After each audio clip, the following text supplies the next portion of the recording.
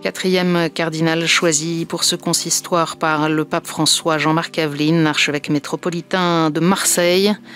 À 63 ans, il rejoint les quatre autres cardinaux français de moins de 80 ans, appelés à participer à l'élection d'un pape en cas de conclave, les cardinaux Mamberti, Barbarin, Ricard et 23. Ad honorem Dei omnipotentis, de Santorum Apostolorum Petri et Pauli et tibi committimus tivum, Sante Maria ad Montes, in nomine Patris et Filii et Spiritus Sancti. Né en Algérie, prêtre euh, ordonné en 84, il fonde en 92 l'Institut de sciences et de théologie des religions. Il est nommé ensuite consulteur du Conseil pontifical pour le dialogue interreligieux, évêque auxiliaire de Marseille en 2013. Il succède à Monseigneur Pontier en 2019.